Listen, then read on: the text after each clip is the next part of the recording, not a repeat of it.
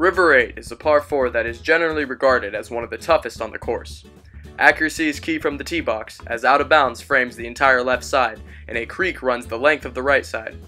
The approach is slightly downhill into a green that sits close to the creek on the right. Bail out left to avoid the creek, and the pitch onto the green will vary in difficulty depending on the placement of the pin.